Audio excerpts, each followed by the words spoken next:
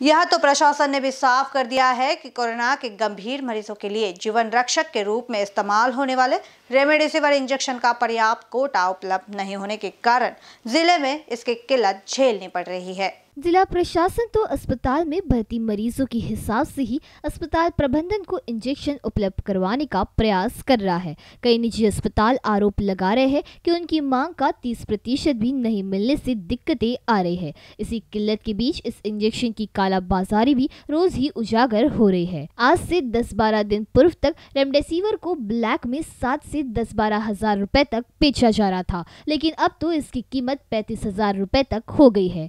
महज एक एक हज़ार दो सौ रुपए में मिलने वाले इस इंजेक्शन की कोविड अस्पतालों में कार्यरत कुछ वार्ड बॉय और नर्स चोरी कर बेचने का गोरख धंधा कर रहे हैं। एक दिन पहले ही पैंतीस हज़ार रुपए में एक इंजेक्शन बेचते हुए एक शख्स को पुलिस ने पकड़ा। अब तो सिटी में इसकी व्यवस्था नहीं होने के कारण मरीजों के परिजन अपनी जान पहचान के लोगों से पड़ोसी राज्यों व शहरों में व्यवस्था करने में लगे हुए हैं। इसके लिए लाखों रुपए खर्च करने को भी तैयार है।